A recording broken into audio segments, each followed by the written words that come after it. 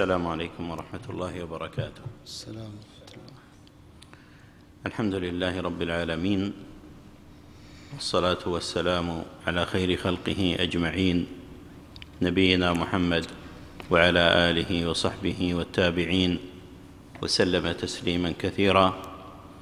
أما بعد فكنا وقفنا في القراءة والشرح على قول الحافظ ابن حجر رحمة الله تعالى عليه وقد يقع فيها أي في أخبار الأحاد المنقسمة إلى آخر كلامه. وكما هي العادة نبدأ بالقراءة. الحمد لله رب العالمين الصلاة والسلام على رسول الله أما بعد اللهم اغفر لنا ولشيخنا وللحاضرين وللمسلمين أجمعين. قال الحافظ رحمه الله وقد يقع فيها أي في أخبار الآحاد المنقسمة إلى مشهور وعزيز وغريب ما يفيد العلم النظري بالقرائن على المختار خلافا لمن أبى ذلك. والخلاف في التحقيق لفظي لأن من جوز إطلاق العلم قيده بكونه نظريا وهو الحاصل عن الاستدلال ومن أبى الإطلاق خص لفظ العلم بالمتواتر وما عداه عنده ظني لكنه لا ينفي أن ما احتف بالقرائن أرجح مما خلا عنها والخبر المحتف بالقرائن أنواع. منها ما أخرجه الشيخان في صحيحيهما مما لم يبلغ التواتر فإنه احتفت به قرائن منها جلالتهما في هذا الشأن وتقدمهما في تمييز الصحيح على غيرهما وتلقي العلماء لكتابيهما بالقبول وهذا التلقي وحده أقوى في إفادة العلم من مجرد كثرة الطرق القاصرة عن التواتر إلا أن هذا يختص بما لم ينتقده أحد من الحفاظ مما في الكتابين وبما لم يقع التجاذب في بين مدلوليه مما وقع في الكتابين حيث لا ترجيح. لاستحالة أن يفيد المتناقضان العلم بصدقهما من غير ترجيح لأحدهما على الآخر.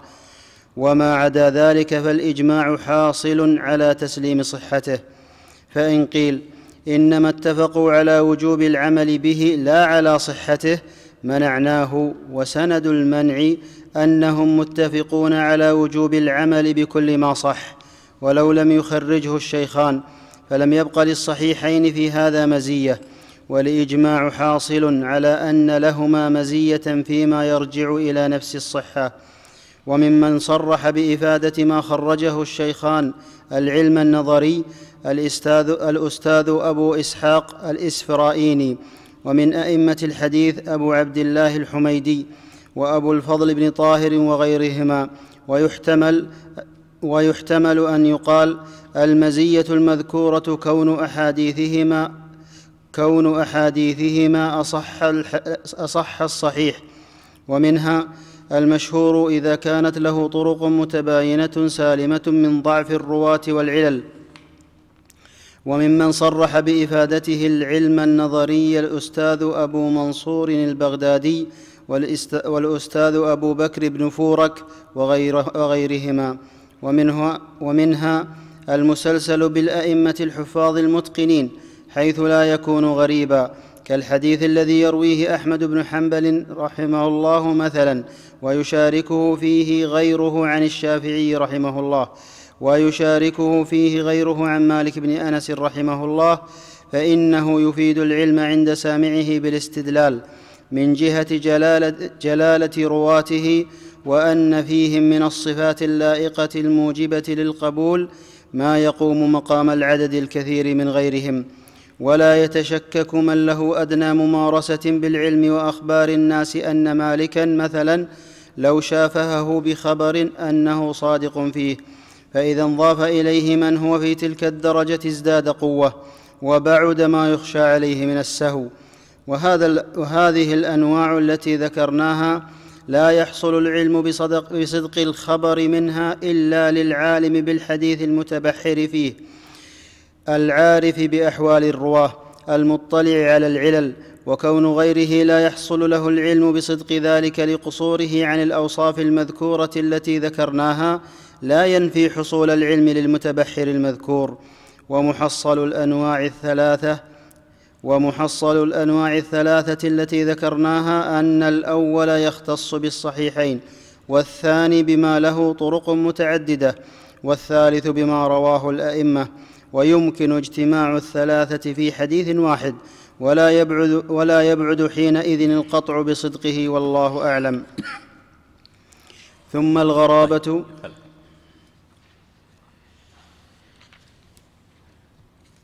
هذا الكلام الذي سمعناه يتعلق بالقسم الثاني من أقسام الخبر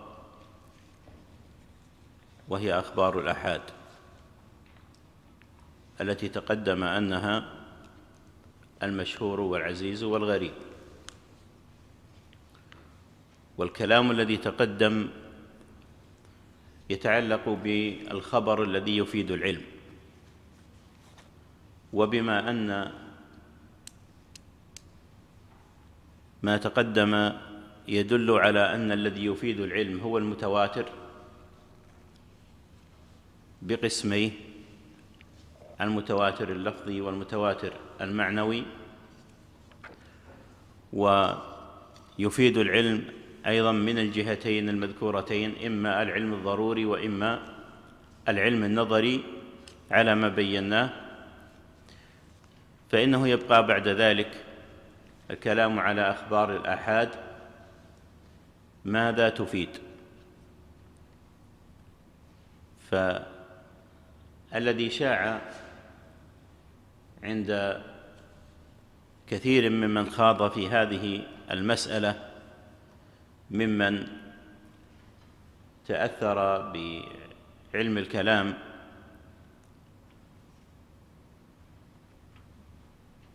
آه، يرون أن أخبار الآحاد إنما تفيد الظن. ومنشأ الإشكال ما ذكرته يوم أمس من أن هؤلاء يرون أن العلم لا يتبعض ولا يتجزأ. وإلا فإنهم لو رأوا هذا الرأي لا أمكن أن يقولوا به. وتضيق دائرة الإشكال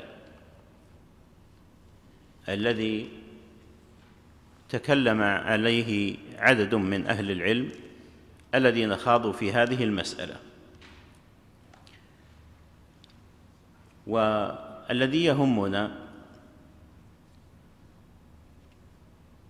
أن أخبار الآحاد على ما ذكرناه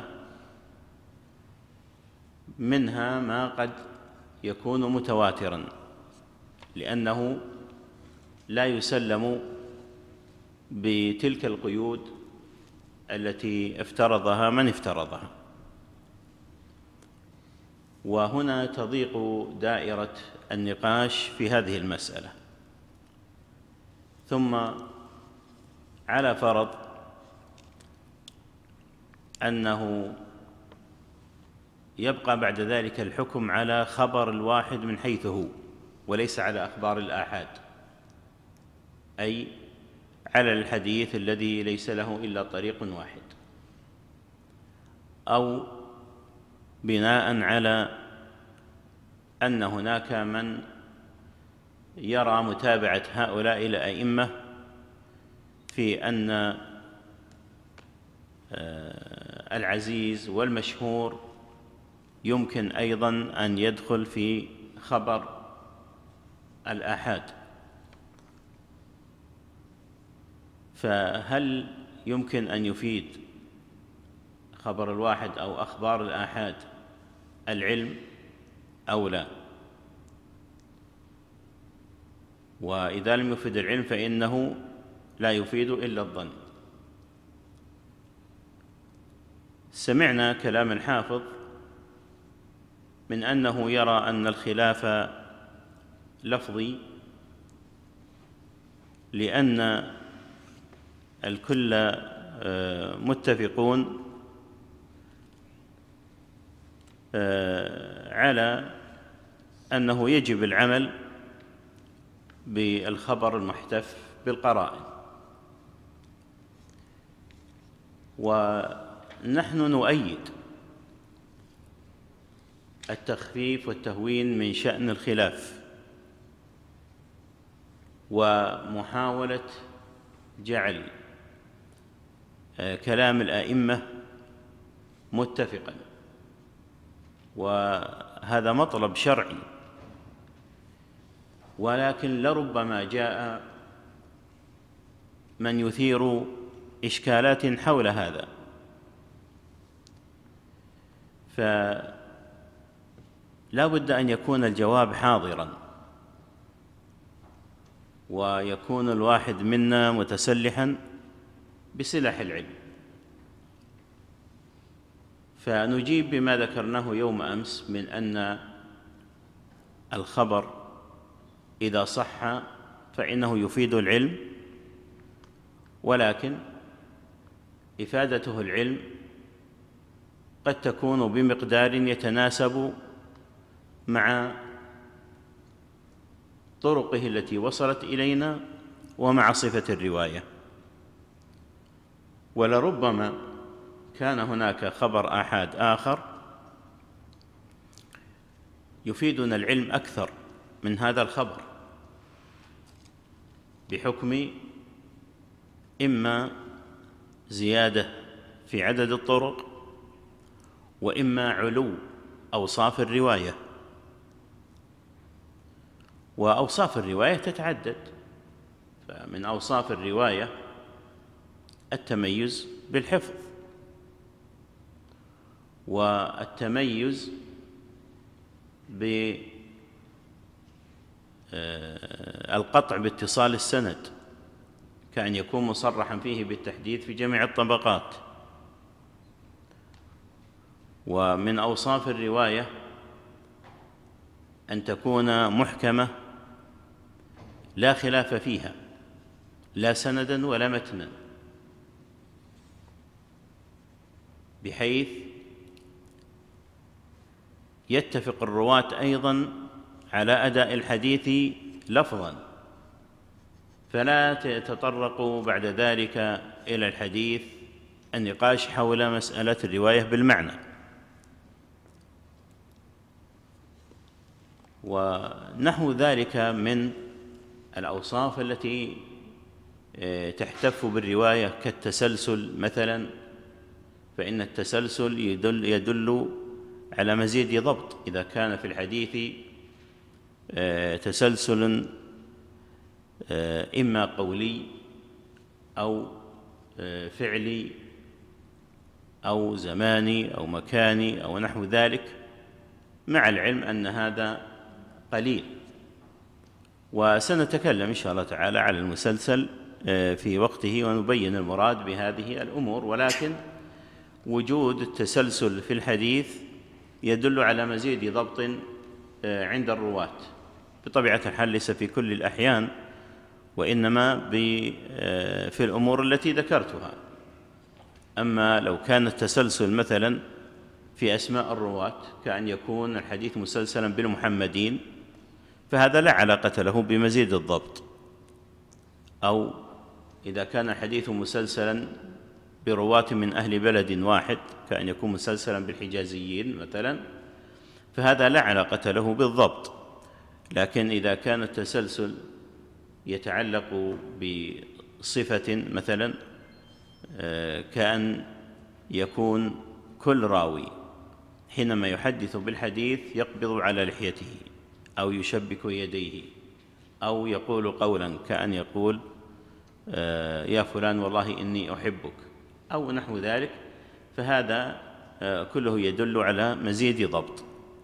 بالإضافة إلى أنه لو كان آه، في الحديث قصة أو ما يشبه القصة مثل أن يحدث بالحديث في يوم العيد أو يقول هذا هو أول حديث آه، أحدثك به أو هذا أول حديث سمعته من شيخي أو نحو ذلك فهذه كلها أوصاف تدل على مزيد حفظ في الرواية. الآن الحافظ يرى أن خبر الواحد إذا احتفت به القرائن يفيد العلم وذكر هذه الأمور الثلاثة وهي أن يكون الخبر مخرجا في الصحيحين أو في أحدهما والثاني أن يكون مشهورا والثالث أن يكون مسلسلا بالأئمة بالأئمة الحفاظ. وهذه القرائن الثلاث آه، أخذها الحافظ بن حجر عن شيخ الإسلام ابن تيمية. ولكن كما سمعنا أنه لم يعزه إليه.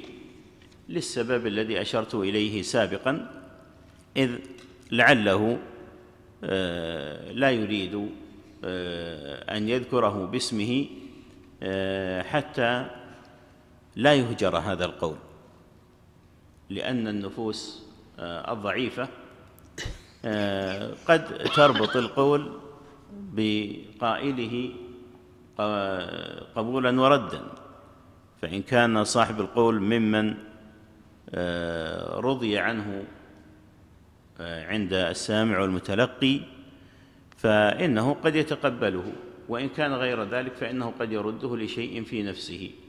فلعل الحافظ صنع هذا لهذا السبب وقد لا يكون أيضا لهذا السبب وإنما على الطريقة التي مشى عليها بعض أهل العلم من آه، استفادة الواحد منهم من علماء آخرين وليس بالضرورة أن يذكر من أين استفاد مثل هذا. وهذا كان موجودا في العصور السابقة ولا يثرب على صاحبه إلا إذا كان آه، قد آه، استفاد الكلام نصا وكان الكلام إما طويلا أو ربما وصل إلى حد أن يكون مؤلفا فإنهم يعدون هذا آه، سارقا وأنه إنسان يأخذ ما عند الآخرين من غير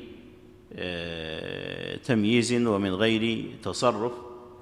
وأما في العصر الحاضر فإنما يسمى بالتوثيق العلمي آه، يفرض على الإنسان أن آه، ينسب كل قول إلى قائله ولا يسوغ له أن يأخذ من جهود الآخرين ما يأخذ ثم يوحي بنسبتها إلى نفسه وذلك إذا لم يعزو هذا الكلام إلى قائله فإن هذا لا يليق.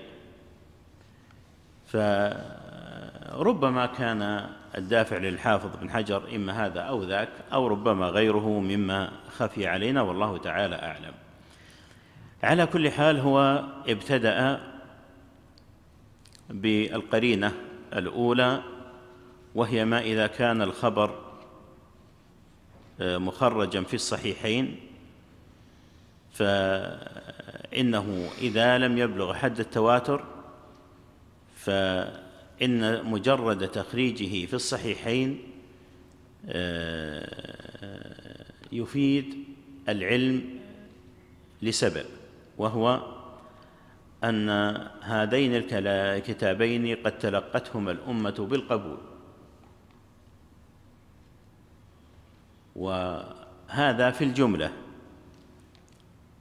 وهناك أحرف يسيرة آه، خولف فيها صاحب الصحيح من قبل بعض الحفاظ والكلام في هذا آه، قد يحتاج إلى طول ولكن محصله أنه لا يلزم من كون بعض الحفاظ انتقد شيئا على الصحيحين. أقول لا يلزم أن يكون كلامه مؤثرا في صحة الحديث. حتى عند ذلك الإمام نفسه. لأن كثيرا من الانتقادات تكون لبعض الطرق ولا تتجه إلى أصل الحديث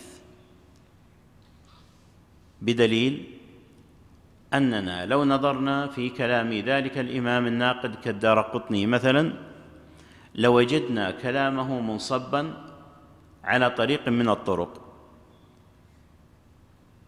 فيكون تكلم فيها لوجود راو من الرواة.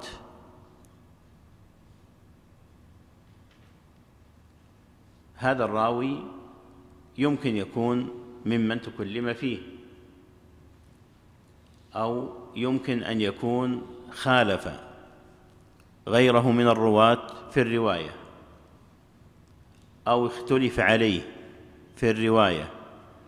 أو لغير ذلك من الأسباب لكن إذا نظرنا للروايات الأخرى للحديث وإذا بها لا علاقة لها بهذا الانتقاد. فهذا يدل على أن الانتقاد إنما اتجه لطريق من طرق هذا الحديث ولو افترضنا أن هذه الطريق لم تخرج في الصحيح لما ضر ذلك الحديث عدم تخريج تلك الطريق لثبوته من جهة أخرى. أقول هذا يقع في كثير من الأحاديث التي يقع فيها التجاذب أو تكون آه، محط آه، اختلاف آه، بين صاحبي الصحيح وذلك الإمام المنتقد. وربما كان هناك غير ذلك مما عرف من طريقة صاحبي الصحيح من أنهما قد يخرجان الحديث المعلول وهما يعلمان بتلك العلة ويريان أيضا أنها علة ولكن إنما أخرج تلك الطريق للإشارة إلى وجود آه، تلك العلة في بعض طرق الحديث ولأخذ القدر المشترك من آه، ذلك الطريق إذ إنه يتفق مع الطرق الصحيحة في كثير من جزئيات الحديث إن سندا وإن متنا. وربما كانت هناك أشياء تحتاج آه، كلام في هذا الباب. أنا أتحاشى الدخول فيها حتى لا تذهب بي على حساب الوقت. لكن آه، ربما كانت هناك مناسبة لها فيما يأتي في الكلام على آه، الحديث الصحيح والكلام آه، على الصحيحين ونتكلم عليها إن شاء الله تعالى. والذي نخلص به أن مجرد وجود الانتقاد لا يعني تضعيف الحديث.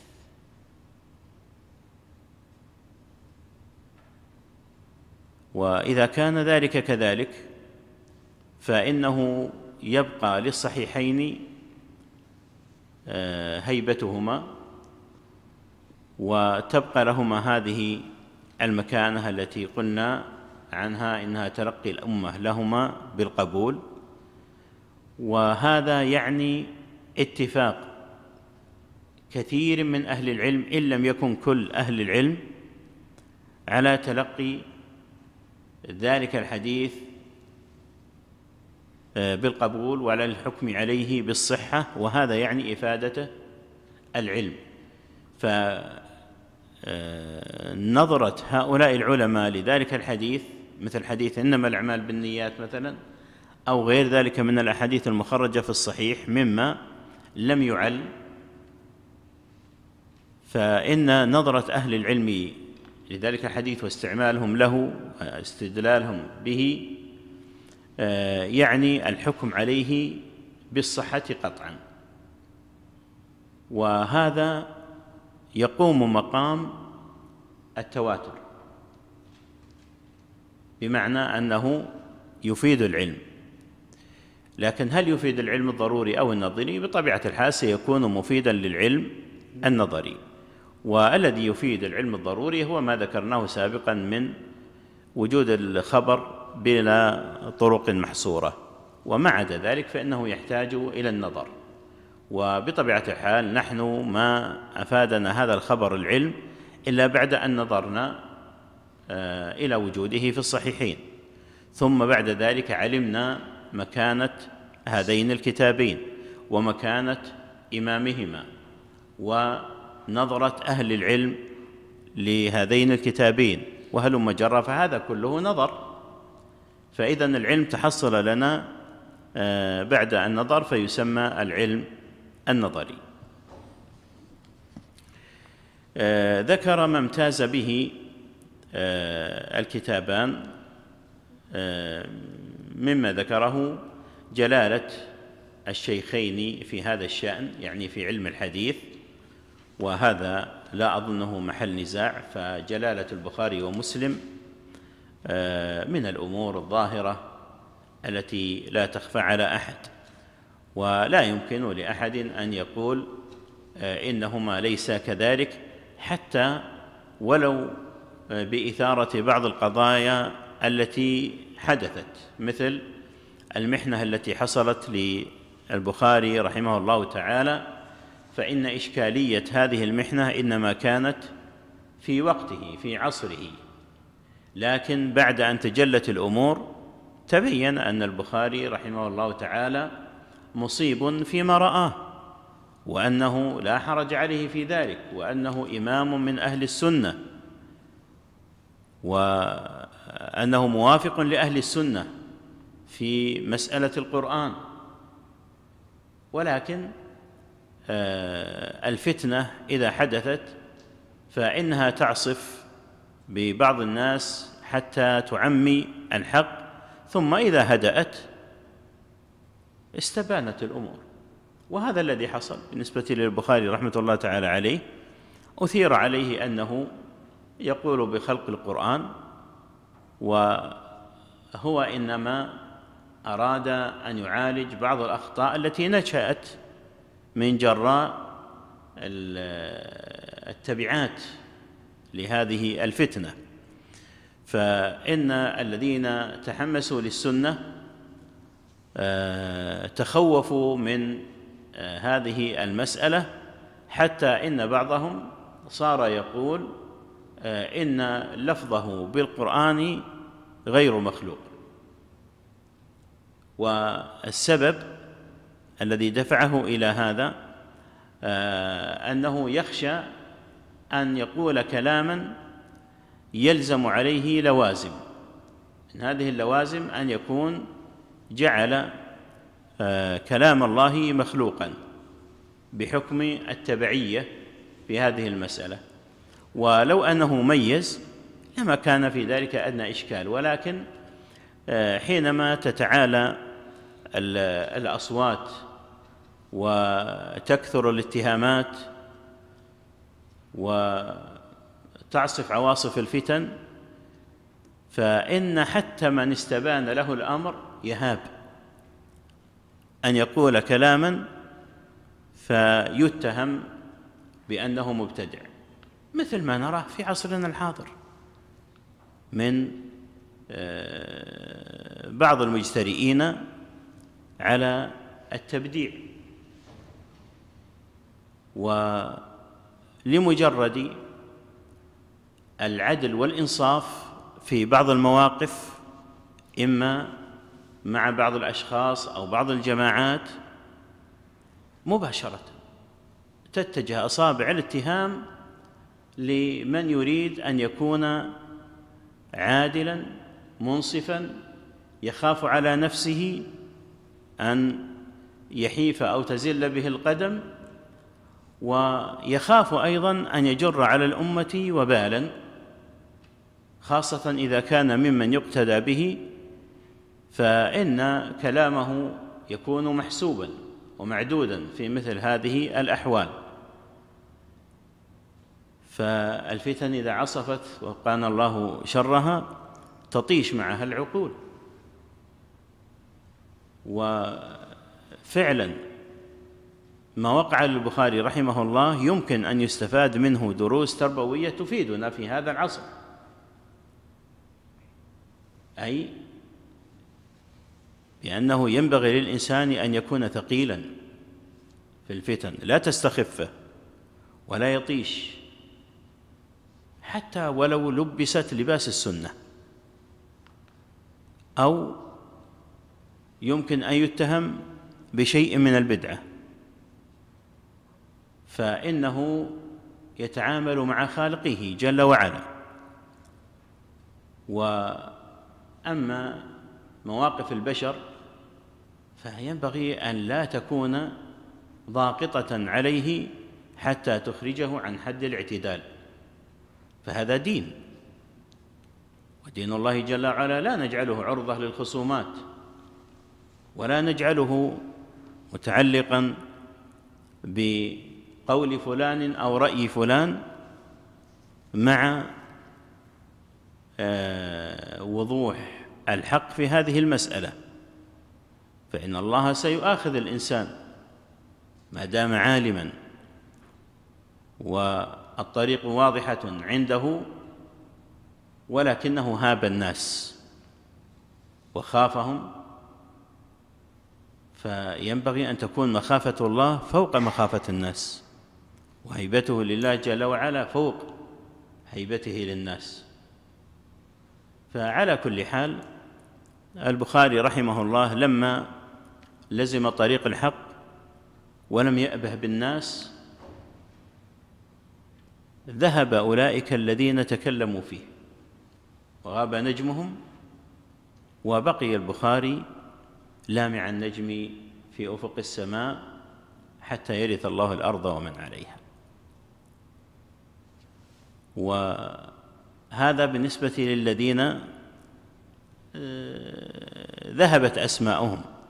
أما آه، بالنسبة لشيخه محمد بن يحيى الذهلي رحمه الله تعالى الذي آه، كان ممن له سهم في هذه المشكلة فإنه إمام. ولكن أولئك الذين آذوا البخاري حتى أوصلوا خبره لحاكم بخارى التي ذهب إليها البخاري ومورست أيضا عليه الضغوط. حتى إنه أخرج من ذلك البلد وسأل الله أن يتوفاه بسبب ما لاقى من أذى الناس واستجاب الله دعوته وقبض روحه رحمة الله تعالى عليه فإن هؤلاء لهم آه، مصير سيلقونه ولهم رب سيحاسبهم.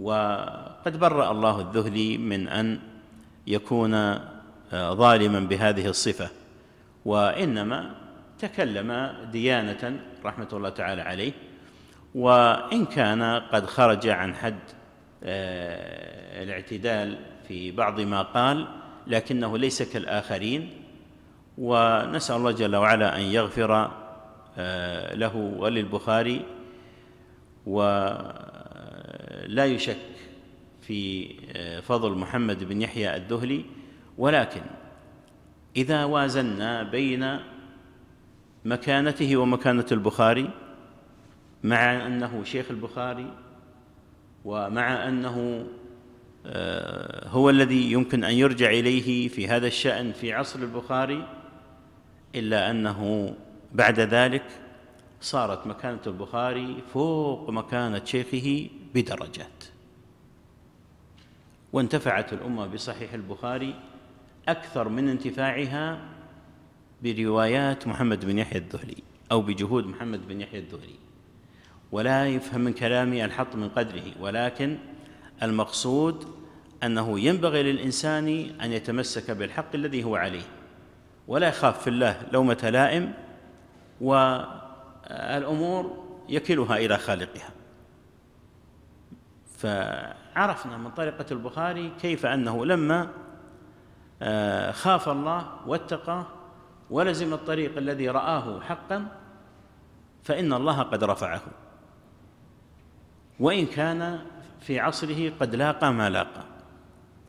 ومثل ما أشرت إليه أيضا من آه، صنيع شيخ الإسلام بن تيمية.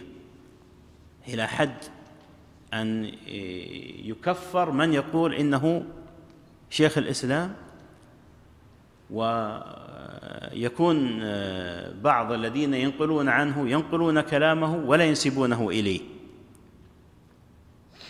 مثل ما قلت عن الحافظ بن حجر أو مثل ما رأيناه في صنيع من؟ الصنعاني ها؟ الصنعاني الصابوني الصنعاني يا شيخ. الصنعاني الصنعاني. لا لا أقدم من الصنعاني. أبي العز. أحسنت. ابن أبي العز الحنفي في شرح الطحاوية فإنه ينقل كثيرا عن شيخ الإسلام ولا يذكره لأنه لا يريد أن يهجر هذا الكلام لأنه لو ذكر شيخ الإسلام ابن تيمية آه، لن يتقبل الناس منه هذا الكلام. مثل ما نراه في هذا العصر لو ذكر الشيخ محمد بن عبد الوهاب عند بعض آه، الناس أو في بعض البلدان يتركون هذا الكلام. لكن إذا ذكر الكلام دون أن ينسب إليه يرون أنه حق وأنه كلام لذيذ وجيد مستند إلى كتاب الله وإلى سنة رسول الله صلى الله عليه وسلم. وقد حصل أيضا هذا حتى للشاطبي رحمه الله. فالشاطبي في كتاب الاعتصام ينقل عن شيخ الإسلام بن تيمية كثيرا خاصة من كتابه بطلان التحليل ولا ينسب إليه إنما يقول أحيانا قال بعض الحنابلة. وأيضا الذي دفعه لذلك هو هذا السبب. لكن الآن صار من يريد أن يزكي نفسه يقول قال شيخ الإسلام بن تيمية لأن مجرد ذكره له يعني آه، تزكيته لمنهجه فسبحان مغير الأحوال. وذهب أولئك الذين آه، تكلموا فيه وقدحوا وحطوا من قدره وقالوا ما قالوا ذهبوا. ومن الذي بقيت له المكانة؟ هو من حظي بهذا الشرف. نسأل الله جل وعلا أن يرزقنا جميعا الإخلاص في القول والعمل. آه، ذكر أيضا تقدم البخاري ومسلم في تمييز الصحيح على غيرهما فالجلالة التي حصلت لهما وتقدمهما في تقدمهما في تمييز الصحيح من غيره على غيرهما من العلماء. قال وتلقي العلماء لكتابيهما بالقبول. وهذا التلقي وحده أقوى في إفادة العلم من مجرد كثرة الطرق القاصرة عن التواتر. بل نقول إنه آه، يعطي الحديث مزيد قوة آه، قد تصل في بعض الأحيان لبعض القوة التي تحصل بالتواتر. مثل إذا اجتمعت الأوصاف التي ذكرها الحافظ بن حجر. إذا كان الحديث مخرجا في الصحيحين وإذا كان مشهورا يعني أن له طرقا وإذا كانت طرقه آه، مسلسلة بالأئمة أو يرويه الأئمة الحفاظ المتقنين فإن الحديث الذي بهذه الصفة بلا شك يكون آه، مفيدا للعلم وبقوة. وقد يضارع ما قد يطلق عليه بعضهم وصف التواتر. وهذا لا يتجلى إلا كما قال الحافظ بن حجر لمن كان من أهل هذا الشأن. أما من لم يكن من أهل هذا الشأن فإن مثل هذه المعاني قد تغيب عنه والله تعالى أعلم. قال إلا أن هذا يختص بما لم ينتقده أحد من الحفاظ مما في الكتابين. وبينت ما على هذا من آه، التحفظ. فإنه إذا كان الانتقاد متجها لبعض الطرق فإنه لا يتجه لهذا الحديث. وأرجو أن آه، يعني نستوعب هذه المسألة جيدا. وكثير من الانتقادات هي بهذه الصفة تتجه لبعض الطرق. وأما الطرق الأخرى فهي سالمة. مثل حديث آه، عائشة رضي الله تعالى عنها في آه، تلبية النبي صلى الله عليه وسلم في الحج لبيك اللهم لبيك لبيك لا شريك لك لبيك. فالبخاري رحمه الله لما أخرجه من طريق سفيان الثوري آه، أشار بعده إلى طريق شعبة. التي فيها مخالفة لرواية سفيان الثوري مخالفة إسنادية يعني في شيخ الأعمش.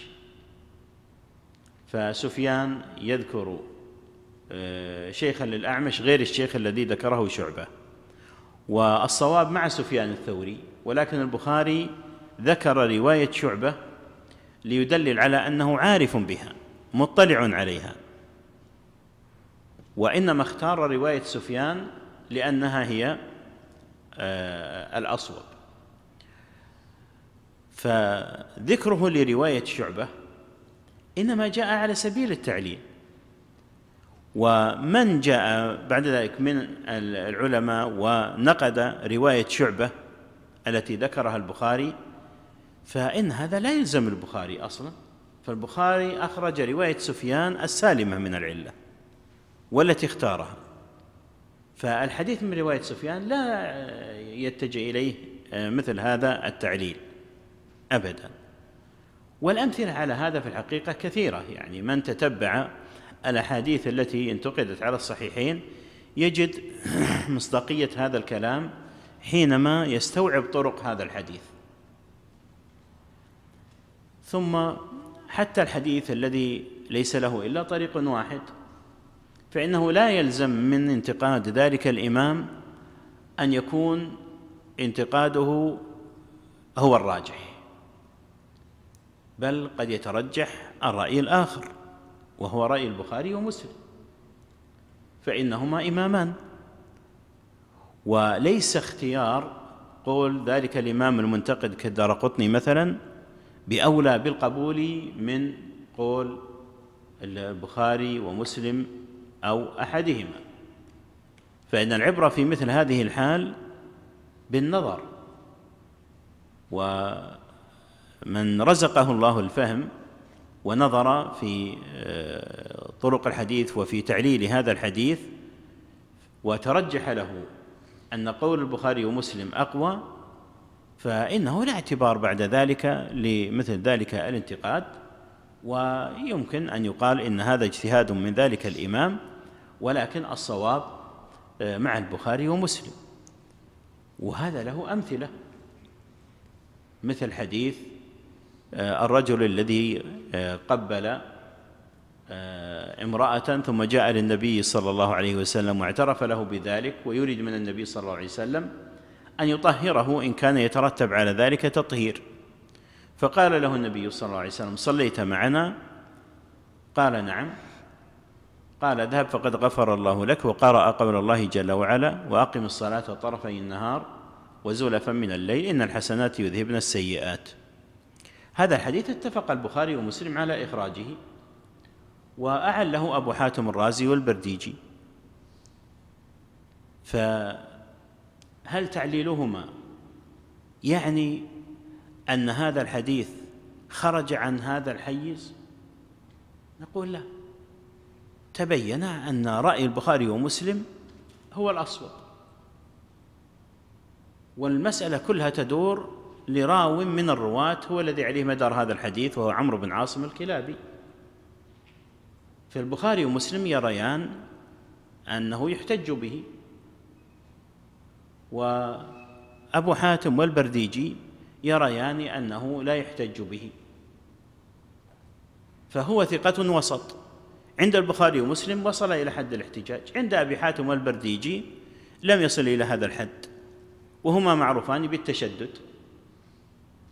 فأهل العلم أخذوا برأي البخاري ومسلم في هذه المسألة ولم يجعلوا تعليل أبي حاتم والبرديجي مؤثرا على صحة هذا الحديث. إذا لا يلزم من وجود الانتقاد أن يكون ما قاله المنتقد صوابا. فقد يخالف ذلك المنتقد. قد يكون الصواب مع البخاري ومسلم. وهذا وغيره كله مما يجعل قضية الانتقادات لا تؤخذ بالحساسية التي تؤثر على قبول أحاديث الكتابين أو الحط من قدر الكتابين في نفوس آه، الأمة آه، بعد أن حصل لهما هذه المكانة. طيب. قال إلا أن هذا يختص بما لم يتقده أحد من الحفاظ مما في الكتابين أجبنا عنه وبما لم يقع التجاذب بين مدلوليه مما وقع في الكتابين حيث لا ترجيح. لاستحالة أن يفيد المتناقضان العلم بصدقهما من غير ترجيح لأحدهما على الآخر وما عدا ذلك فالإجماع حاصل على تسليم صحته. هذا الكلام آه، فيه شيء من العموم. الذي يحتاج إلى توضيح. فقوله وبما لم يقع التجاذب بين مدلوليه مما وقع في الكتابين آه، في الغالب ينصرف إلى المتون. فإذا كان هناك متنان متعارضان حيث لا ترجيح بمعنى أنه يصعب علينا أن نرجح بين هذين المتنين. فان العلم الحاصل بقبول أحد هذين المتنين لا يكون آه، متحصلا كالعلم الذي تحصل من الأحاديث السالمة من مثل هذا التعارض. يقول لاستحالة أن يفيد المتناقضان العلم بصدقهما. يعني لا بد أن يكون هناك خطأ ما دام أننا لم يمكننا الترجيح. فلا بد أن يكون هذا التعارض يترتب عليه آه، أن أحد الراويين قد أخطأ. لكن مثل هذا الكلام يحتاج إلى دليل أو مثال. فإن جيء بالأحاديث التي تدخل فيما يسمى بمختلف الحديث وهذا سيأتي معنا الكلام عليه إن شاء الله تعالى. فمختلف الحديث يبذل أهل العلم فيه قصارى جهدهم في محاولة التوفيق والجمع بين الأدلة. مثل حديث لا عدوى ولا طيرة وحديث فر من المجذوم فرارك من الأسد. فهذا يثبت وهذا ينفي. ها؟ إذن وقع التجاذب بين مدلولين. هذا يثبت وهذا ينفي. تجاذب. قال حيث لا ترجيح. طيب. حينما آه، يقول حيث لا ترجيح قد يكون ترجح لبعض أهل العلم ولم يترجح لبعضهم. فالذي لم يترجح له يرى أنه لا ترجيح في مثل هذه الحال. فصار هناك تناقض بين هذين الحديثين. فكيف يفيدان العلم ما دام وقع بينهما هذا التجاذب؟ هذا مراد الحافظ. لكن يبقى السؤال هل في الصحيحين شيء من ذلك؟ فكل ما في الصحيحين خاصة ما في البخاري قد أجاب عنه الحافظ بن حجر نفسه. فهو يدرأ هذا التجاذب عن تلك الأحاديث وهذا في شرحه لصحيح البخاري. وهكذا إذا وجد شيء في مسلم فإنه يجتهد في إزالة الإشكال الواقع فيه. لكن تبقى بعد ذلك بعض الأحاديث التي حصل فيها بعض الإشكالات. لكن آه، يمكن تكون هذه الإشكالات عند بعض أهل العلم وهي مدفوعة عند علماء آخرين. مثل حديث التربة الذي في صحيح مسلم. خلق الله التربة يوم السبت. فبعض أهل العلم يرون أنه معلول. منهم علي بن المديني والبخاري رحمة الله تعالى عليهما وابن جرير الطبري. بعد ذلك جاء شيخ الإسلام بن تيمية وابن القيم. كلهم يرون أن هذا الحديث معلول. وهناك علماء آخرون يرون أن الحديث غير معلول. وكتبت في ذلك بحوث ودونت وهكذا أيضا مثل حديث أبي سفيان رضي الله تعالى عنه لما قال للنبي صلى الله عليه وسلم ثلاث أعطنيها. الأولى طلب من النبي صلى الله عليه وسلم أن يؤمره حتى يقاتل في الإسلام كما قاتل في الكفر. والثانية أن يستكتب النبي صلى الله عليه وسلم ابنه معاوية يتخذه كاتبا عنده. والثالثة أن يزوج النبي صلى الله عليه وسلم ابنته أم حبيبة. وأم حبيبة كان قد تزوجها النبي صلى الله عليه وسلم قبل ذلك بوقت قبل إسلام أبي سفيان. فجعلوا هذا علة. حتى حكم آه، ابن الجوزي على هذا الحديث بالوضع. فالمسألة ليست الآن مسألة تجاذب فقط وإنما حكم عليه بالوضع. وممن ذهب أيضا إلى تعليل الحديث شيخ الإسلام ابن تيمية وابن القيم وابن كثير وهكذا. ومع ذلك فهناك من دافع عن هذا الحديث. وفيه بعض البحوث التي كتبت. دفاعا عن مسلم لكن البخاري لم يخرج. لا هذا الحديث ولا الذي قبله وهكذا. فمثل هذه الأحاديث التي يقع فيها آه، مثل هذا قد يقال إنها آه، على طريقة من يرى أن العلم لا يتبعض إنها لا تفيد العلم. وأما من يرى أن العلم يتجزأ فانه يقول إنها تفيد العلم ولكن ليست إفادتها للعلم كإفادة الأحاديث المحكمة السالمة من الاعتراض. فتلك فيها مزيد علم أقوى من آه، العلم الذي تدل عليه هذه الأحاديث. آه، اذا المسألة كلها تعود لوجود المثال. وإذا جاء بالمثال جاء بكلام ابن خزيمة رحمه الله تعالى الذي يقول فيه ليس في صحيح حديث رسول الله صلى الله عليه وسلم حديثان متعارضان من كل وجه. ومن كان عنده شيء من ذلك فليأتني به لأؤلف بينه. فهو يرى أن الحديث إذا صح ليس فيه تعارض بين هذه الأحاديث. ولهذا يوجد في كتب علوم الحديث خاصة في مبحث مختلف الحديث ومضطرب الحديث ما يشعر بأنه قد يكون فيه بعض الأحاديث التي صحت أسانيدها ولكن لا يمكن العمل بها.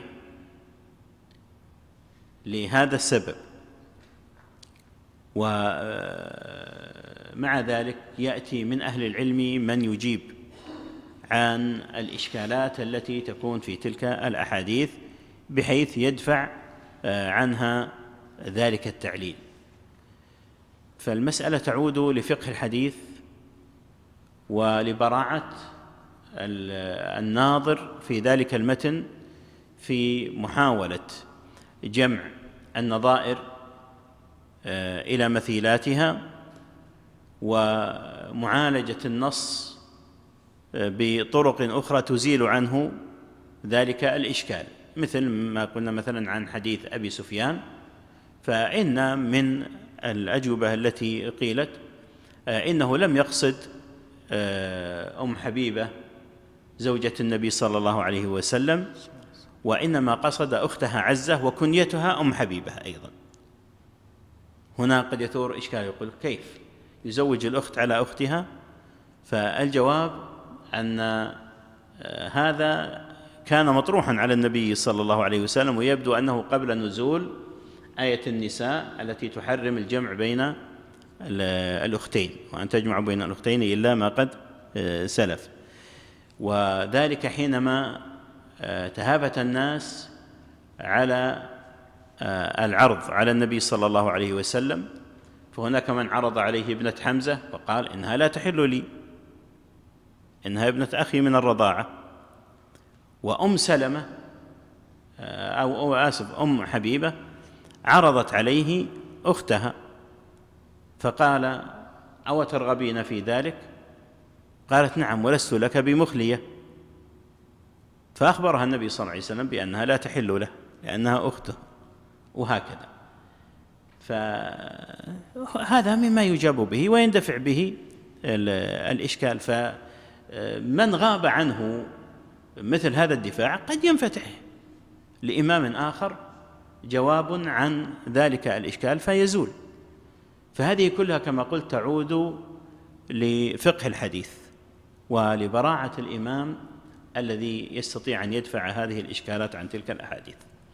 يقول الحافظ رحمه الله فإن قيل إنما اتفقوا على وجوب العمل به لا على صحته.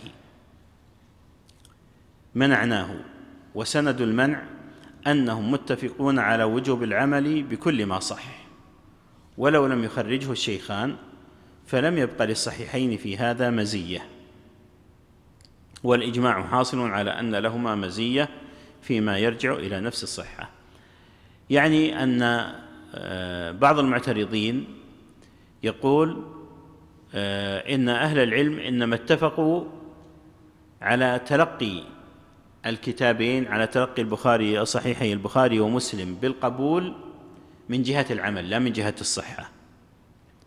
يعني على العمل بما تضمنه هذان الكتابان.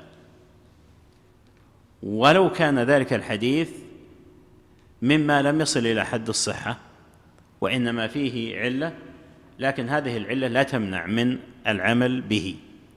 يقول نحن نمنع مثل هذا والسبب في المنع أن العلماء كلهم متفقون على وجوب العمل بكل ما صح. فلو كان الحديث صحيحا في خارج الصحيحين فإنه يجب العمل به. وبالتالي لا يبقى للصحيحين مزية في مثل هذه الحال. فلماذا صارت هذه المزية للصحيحين؟ إذا كان مناط الأمر أو مناط هذه المكانة أو مناط هذا القبول إنما هو العمل. فالعمل حاصل أيضا بالأحاديث التي ليست في الصحيحين إذا كانت صحيحة. طيب قال فلم يبقى للصحيحين في هذا مزية والإجماع حاصل على أن لهما مزية فيما يرجع إلى نفس الصحة. ذكر وممن صرح بإفادة ما خرجه الشيخان العلم النظري الأستاذ أبو إسحاق الإسفرايني وهو يعد من المتكلمين. لكن له كلام جيد في قبول خبر الواحد وأنه يفيد العلم. وقد نقل عنه هذا أيضا شيخ الإسلام بن تيمية رحمه الله تعالى. ومن أئمة الحديث أبو عبد الله الحميدي هذا صاحب كتاب الجمع بين الصحيحين وليس كتاب صاحب صاحب المسند لأن صاحب المسند اسمه عبد الله بن الزبير الحميدي وليس آه، وليست كنيته أبا عبد الله. آه، قال وأبو الفضل بن طاهر آه، أبو الفضل بن طاهر المقدسي هذا صاحب شروط الكتب الستة وصاحب كتاب الجمع بين رجال الصحيحين وغير ذلك من الكتب النافعة رحم الله الجميع قال وغيرهما. في الحاشية نقل عن البلقيني في محاسن الاصطلاح بإضافة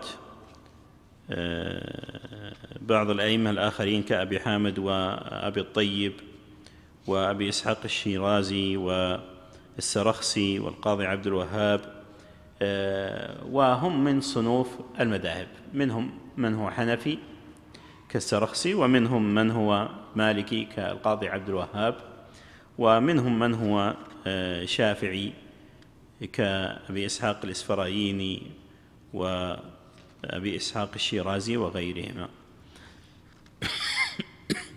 وقد أشرت إلى هذا يوم أمس بأن شيخ الإسلام بن تيمية رحمه الله نقل عن آه، بعض أئمة آه، المذاهب الأربعة كلهم ما يدل على أن خبر الواحد يفيد العلم أيضا.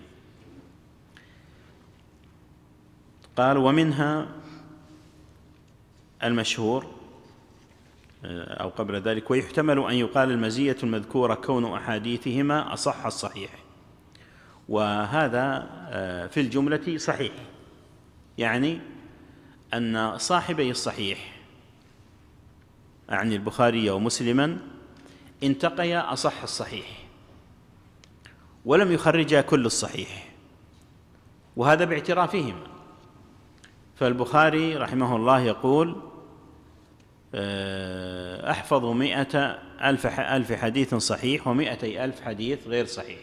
فإذا كان يحفظ مئة ألف حديث صحيح فكم أودع في كتابه منها؟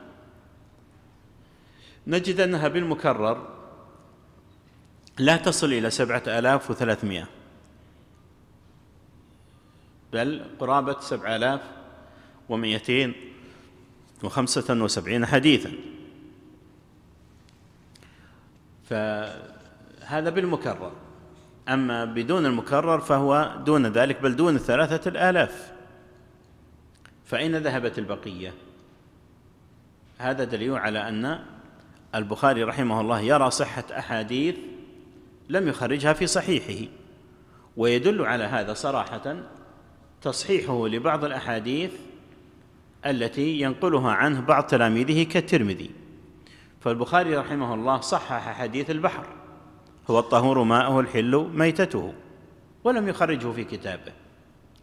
وصحح حديث إن طول صلاة الرجل وقصر خطبته مئنة من فقهه. وهذا أخرجه مسلم ولم يخرجه البخاري. وصحح يعني أحاديث أخرى غير آه، هذه كلها في آه، خارج الصحيح. وينقل عنه الترمذي في كثير من الأحيان ذلك. فهذا يدل آه، على أنه انتقى أصح الصحيح. وهكذا مسلم بن الحجاج أيضا. ففي آخر كتاب الصلاة من صحيحه آه، لما سئل عن حديث قراءة الإمام وأنها قراءة لمن خلفه قال هو حديث صحيح. فقيل له لماذا لم تخرجه في كتابك؟ فقال ليس كل شيء عندي صحيح أودعته ها هنا إنما أودعته ها هنا ما اجمعوا عليه. اذا هو عنده أحاديث صحيحة لكن لم يودعها في صحيحه. اذا هو انتقى أصح الصحيح. فهذا الكلام فعلا كلام جيد. طيب القرينة الثانية قال ومنها المشهور إذا كانت له طرق متباينة سالمة من ضعف الرواة والعلل وممن صرح بإفادته العلم النظري الأستاذ أبو منصور البغدادي والأستاذ أبو بكر بن فورك وغيرهما مع العلم أنهما ممن عرف آه، بأنهما ممن تأثر آه، بعلم الكلام. طيب. إذن إذا كان للحديث طرق صار بها مشهورا ولم يبلغ عند آه، بعضهم حد التواتر فإن هذه الطرق قد تصل بهذا الحديث إلى إفادة العلم. إذا كانت هذه الطرق سالمة من الضعف وسالمة من العلل. لأن بعض الطرق أحيانا تعود لطريق واحد قد يتراءى لك أن هذا الحديث ورد من طرق متعددة. ولكن بالنظر إلى مخرج الحديث وهو الراوي الذي تدور عليه الأسانيد يتبين أنه حديث واحد ولكن اختلف على ذلك الراوي. فمنهم من يجعل هذا الحديث عن صحابي ومنهم من يجعله عن صحابي آخر وهكذا. فلا يقال إن هذه آه، طرق. مثل حديث آه، صوم يوم السبت. وهو حديث عبد الله بن بسر. مداره على عبد الله بن بسر رضي الله تعالى عنه. فهناك من يجعله من حديث عبد الله بن بسر عن النبي صلى الله عليه وسلم. فيكون صحابيه من؟ عبد الله بن بسر. وهناك من يجعله من رواية عبد الله بن بسر عن أخته الصماء. فصار الحديث الآن من مسند الصماء. هناك من يرويه ويجعله عن عبد الله بن بسر عن خالته الصماء. صار الآن عن خالته. هناك من يرويه عن عبد الله بن بسر عن أمه. هناك من يرويه عن عبد الله بن بسر عن عائشة. هناك من يرويه عن عبد الله بن بسر عن أبيه. هناك من يرويه عن عبد الله بن بسر عن أبي أمامة وعن ثوبان وهكذا. فهذا اختلاف على راو واحد. بعض الذين اجتهدوا في هذا يقول حديث صوم يوم السبت حديث صحيح. ورد عن ما أدري قال ستة أو سبعة أو ثمانية من الصحابة. وهم فلان وفلان وفلان وفلان. هذا لا يصلح. لا يصلح. هذا اختلاف في الحديث في حديث هو حديث واحد ولكن يخطئ بعض الرواة فيجعل صحابيه مرة كذا ومرة كذا ومرة كذا. فينبغي أن نتنبه آه، لمثل آه، هذا. وإذا كان الحديث وردت له طرق صار معها الحديث مشهورا ولكن كل طريق مستقلة عن الطريق الأخرى كل طريق صحيحة وسالمة من العلة. فإن هذه هي التي يتقوى بها الحديث ويصل إلى إفادة العلم. فهذا القيد الذي ذكره الحافظ هنا قيد جيد. حينما قال إذا كانت له طرق متباينة. لاحظوا التباين معناه أنها لا تلتقي الطرق هذه في مخرج واحد.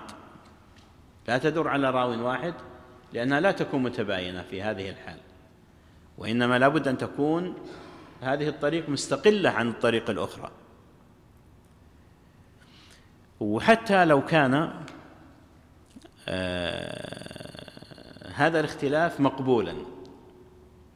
فبعض الرواة المكثرين كالأعمش وأبي إسحاق السبيعي وقتادة وغيرهم قد يكون له في الحديث الواحد أكثر من إسناد. فإذا كانت كل الطرق تمر به فلا يصح أن يقال عن هذا الحديث إنه مشهور بهذه الصفة التي يراد معها أن يكون الحديث أفاد العلم. طبعا عند آه، هؤلاء أما عند علماء الحديث فإنهم ينظرون لاعتبارات أخرى حتى ولو كان المدار على راو واحد. لكن يقع أحيانا من الراوي المكثر تلون في الرواية.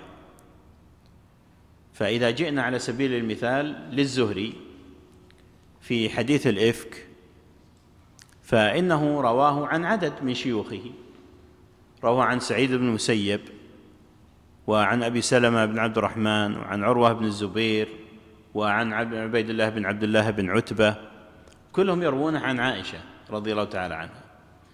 فلا يقال إن هذا اختلاف على الزهري فالرواة اختلفوا. فمنهم من يرويه ويجعل الشيخ الزهري فيه سعيد بن المسيب ومنهم من يرويه ويجعل الشيخ الزهري فيه عروة بن الزبير ومنهم من يرويه فيجعل الشيخ الزهري فيه عبيد الله بن عبد الله بن عتبة وهكذا. لا لا يقال هذا. والدليل عليه أن في رواية الزهري التي في الصحيح جمع هؤلاء الشيوخ كلهم وقال حدثني فلان وفلان وفلان وفلان كلهم يحدث عن عائشة ودخل حديث بعضهم في بعض. وساق الحديث بمساق واحد لأنهم كلهم ثقات وكلهم أخذوه عن عائشة. فسواء كان هذا اللفظ هو لفظ سعيد بن المسيب أو لفظ غيره فلا إشكال فكلهم ثقات.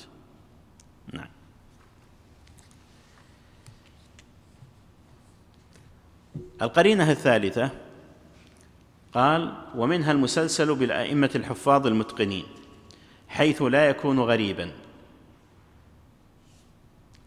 كالحديث الذي يرويه أحمد بن حنبل مثلا ويشاركه في غيره عن الشافعي ويشاركه في غيره عن مالك بن أنس فإنه يفيد العلم عند سامعه بالاستدلال من جهة جلالة رواته. وأن فيهم من الصفات اللائقة الموجبة للقبول ما يقوم مقام العدد الكثير من غيرهم إلى آخر الكلام.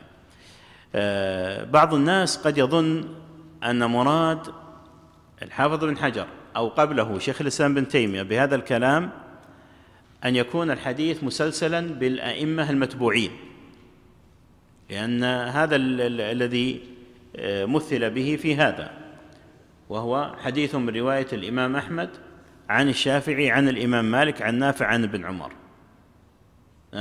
فنقول إن آه، من فوق الإمام مالك ليس من الأئمة المتبوعين. فإذا كان ذكر نافع فإن في الرواة عن نافع وفي الرواة عن الرواة عن نافع وهكذا من قد يفوق نافعا في حفظه وإتقانه. فليست المسألة مربوطة بأن يكون الإمام المذكور هنا من الأئمة المتبوعين بل حتى غيره من الحفاظ الكبار مثل سفيان الثوري شعبة بن الحجاج وأمثال هؤلاء الجبال في الحفظ والإتقان. فإذا جاءنا حديث من رواية هؤلاء الحفاظ فإنه هو الذي تنطبق عليه هذه آه، الأوصاف ويفيد العلم في هذه الحال. ويدخل في هذا ما عرف بأصح الأسانيد. وهذه مسألة آه، معروفة ولعلها تأتي الإشارة إليها إن شاء الله تعالى. فالأسانيد التي قيل فيها إنها أصح الأسانيد معنى ذلك أن الأحاديث التي تروى بها هي من أعلى الصحيح. فالصحيح على درجات منها ما هو أصح الصحيح ومنه ما هو دونه. فأصح الصحيح هو الذي ينبغي أن آه، ينظر إليه بهذه النظرة. لكن هنا قال كلاما قد يكون مشكلا وهو قوله حيث لا يكون غريبا. مع العلم أنه يتحدث الآن على الحديث الذي هو خبر واحد.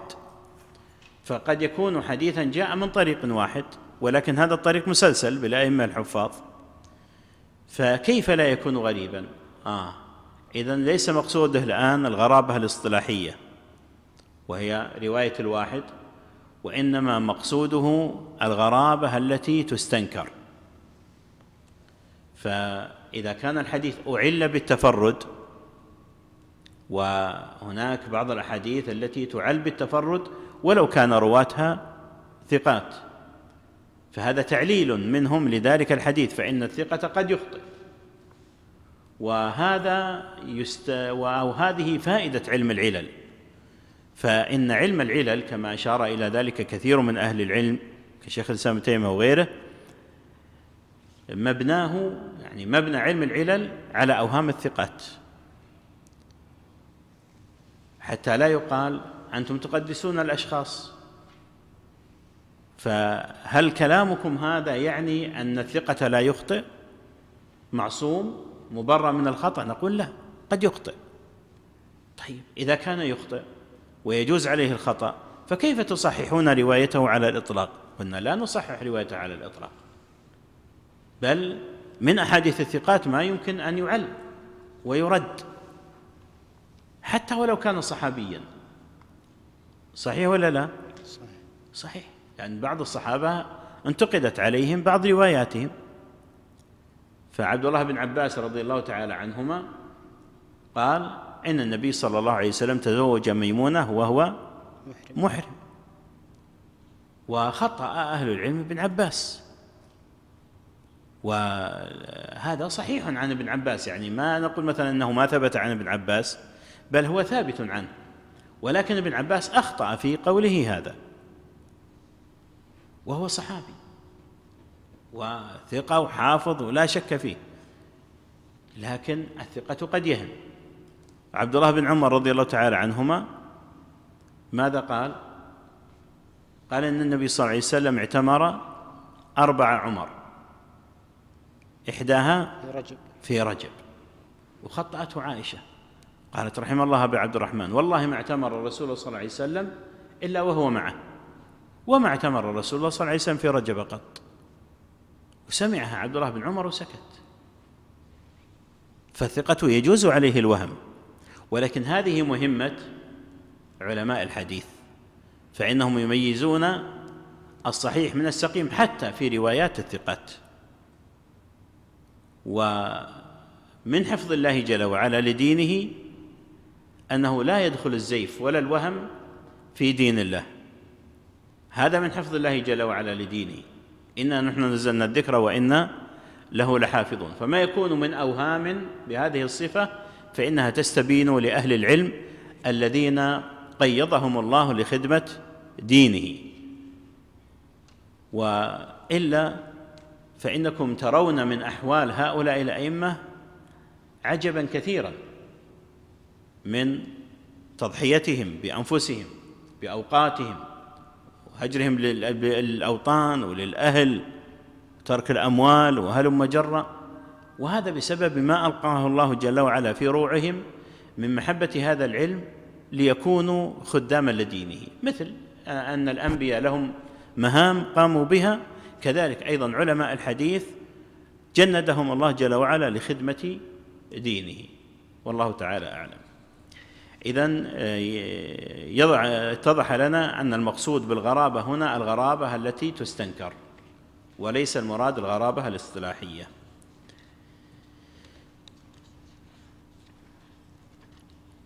طيب قال ولا يتشكك من له أدنى ممارسة بالعلم وأخبار الناس أن مالكا مثلا لو شافهه بخبر أنه صادق فيه. نقول وغير مالك أيضا. فلو جيء من حيث الحفظ والإتقان برواة آخرين لوجدناهم أحيانا يضارعون مالكا مثل عبيد الله بن عبد الله العمري. فلو نظرتم في ترجمته وترجمة الإمام مالك لوجدتم أنهما فرسا رهان. وهناك من يقدم عبيد الله بن عبد الله العمري في نافع على مالك. فليس المقصود شخص مالك رحمه الله لأجل إمامته في الدين وإنما المقصود توفر الصفات التي يكون بها هذا الراوي بهذه المكانة. فهذه موجودة أيضا في غير مالك كعبيد الله العمري وأيوب السختياني ونحوهم. كذا هذا بالنسبة لرواة نافع. كذلك لرواة الزهري. هناك من يضارع مالكا في الزهري مثل سفيان بن عيينة. وعلي بن المديني يقدم سفيان بن عيينة على الإمام مالك في الزهري. وهذا محط خلاف بينه وبين الإمام أحمد فالإمام أحمد يقدم مالكا على سفيان بن عيينة لكن علي بن المديني يقول لا أنا أقدم سفيان على مالك.